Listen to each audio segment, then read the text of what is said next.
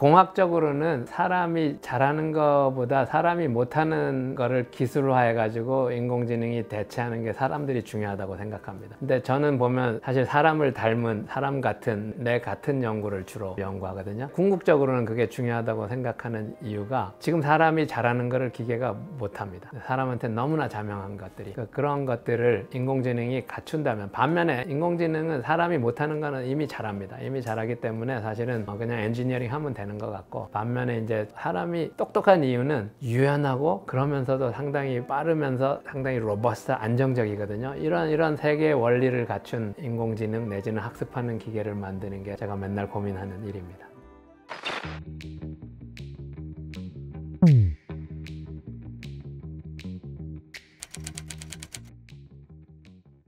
AI 연구자로서 사실은 그동안 AI가 연구한 거를 보면 실세계를 무시하고 특히 행동하는 연구를 무시하면서 닫혀진 세계에서 마음만 연구해 왔거든요. 그렇게 획득한 지식이나 얻은 지식만 가지고 인공지능이 어떤 문제를 풀거나 현실 세계의 문제를 풀기에는 명확히 한계가 있다는 것을 느꼈고요. 그다음에 machine learning 관점에서 이제 실세계 그러니까 로봇이 body를 가지고 환경하고 하는 이런 것도 학습할 수 있는 시대가 됐기 때문에 그게 워낙 중요한 연구고 그래서 로봇을 통해서 인공지능을 연구합니다.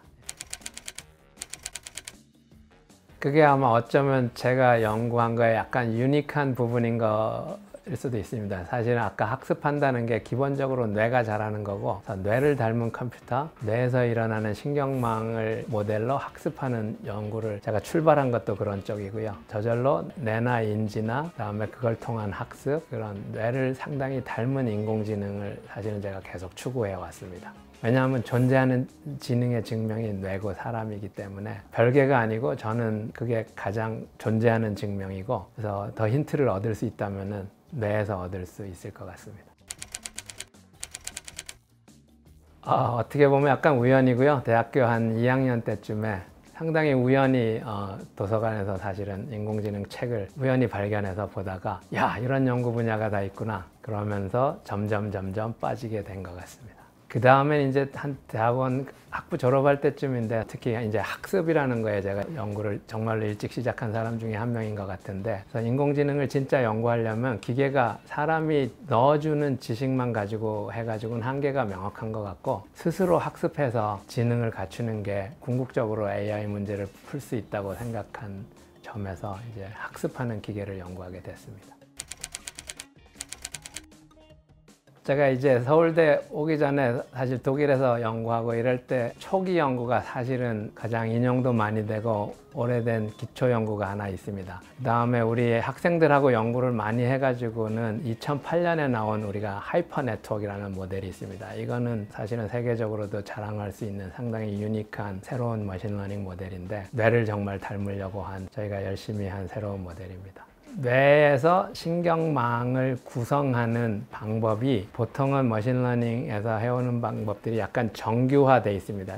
사람들이 디자인을 하고 층별로 돼 있다든지 이런데 저희가 생각한 거는 가장 기본적으로 뇌에서 일어나는 뇌 그 가소성을 이용해서 데이터가 어떤 게 들어와도 어떤 환경에 가도 learning 시스템이 그거에 적응하고 환경에 적응하도록 학습할 수 있도록 하기 위해서 극단적인 무감독 학습으로 어, 구조 자체도 self organizing 하는 뇌에서 학습이 일어나는 과정을 모사하려고 한 그래프 이론 기반의 수학적인 모델이 hyper network라는 모델입니다. 뇌세포들 간의 연결성을 분자들 간에 연결하면서 분자들이 자기 조립하면서 어떤 구조를 찾아가는 과정을 모사해서 뇌에서 일어나는 신경망들의 학습 과정을 수학적으로 모델링한 그래프 이론에 기반한 모델입니다.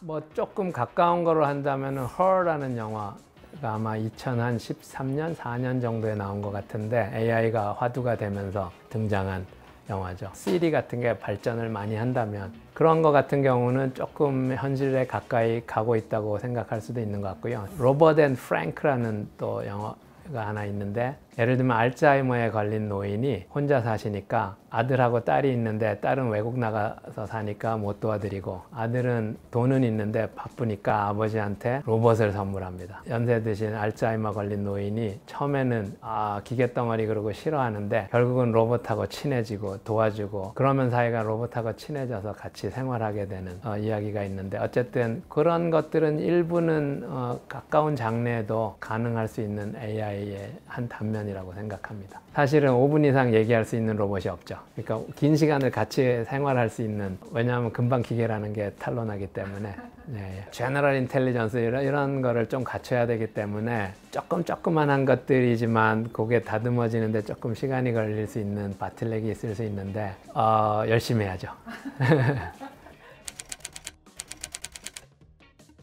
어, 사실은 제가 서점에 가서 이책저책 뒤져보든지 서점을 그냥 탐험하듯이 돌아다니거나 가장 여가가 있다면 그럽니다. 출장 가서도 사실은 제가 외국에 있는 서점 같은 데 가서 보기도 하고 평소에 안 읽는 다양한 책 같은 거 뒤져서 읽기도 하고 뭐 요즘은 유튜브가 보니까 많은 것 같긴 한데 그래도 저는 여전히 좀 책이 중요한 것 같아요. 그냥 연구 관련으로 사실은 뭐 뇌과학, 인지과학 아니면 심리학 철학, 철학 책은 제가 조금 읽으려고 노력하는 편이고 전공 관련되면서 조금 폭넓게 읽어야 될 책이나 이런 분야들이 꽤 많습니다. 제가 사놓고 다 보지 못하는 책들도 많기 때문에 사실은 제 서재에 가서 그냥 아무거나 집어가지고 그냥 시간 날 때 그냥 랜덤하게 그냥 읽기도 합니다.